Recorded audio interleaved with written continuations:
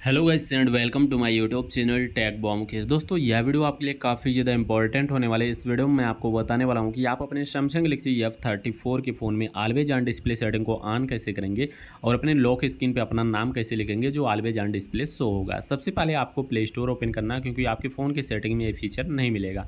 Play store पर always on display search करना है। यही एप्लीकेशन आपको डाउनलोड करना है। जहाँ का भी दिखाई दे, आप लोग देख लीजिए इस एप्लीकेशन को और डाउनलोड करके ओपन करेंगे। एक्सेप्ट का ऑप्शन मिलेगा। आपको इस पर क्लिक करना है। राइट साइड कॉर्नर में अलाउ नाउ के ऑप्शन पे क्लिक करना है। और इसके बाद दोस्तों, आप लोग देखेंगे, यहाँ पे always on display application show होगा। आपको इसको परमिशन दे देना है। इसके बाद यहाँ पे अलाउ नाउ पर क्लिक करके सारे परमिशन इसको दे देंगे। इसके बाद आपके स्क्रीन पे वॉच फेस कस्टमाइजेशन का ऑप्शन देखने को मिलेगा। यहाँ पे सेकंड नंबर पे आप लोग देख सकते हो। हवे इस पर क्लिक करते हैं तो यहाँ पे कुछ बेसिक सेटिंग है। जैसे कि यहाँ पे डिजिटल क्लॉक साइज़ चेंज कर सकते हो। डिजिटल क्लॉक हावर्स का कलर आप लोग चेंज कर सकते हैं। इसके बाद मिनट का कलर भी आप लोग चेंज करना चाहते हो चेंज कर सकते हो। A M P M show कर सकते हैं twenty four hour format show कर सकते हैं। और इसके बाद यहाँ पे ऑन स्क्रीन मेमो का ऑप्शन मिलता है।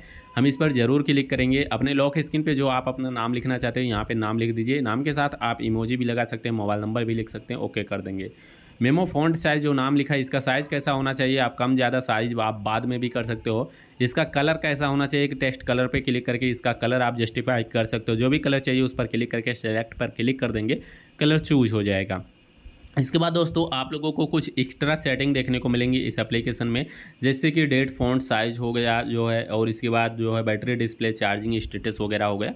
तो कुछ एक्स्ट्रा सेटिंग करने की ज़रूरत नहीं फाइनली अब आप लोगों को इस एप्लीकेशन को कट करना होम स्क्रीन पे आना है। लॉक करना फ़ोन को तीन सेकंड वेट करना है। ऑटोमेटिक आपके स्क्रीन पे always on display setting show होने लगती है। आप लोग लाइव प्रूफ देख सकते हो।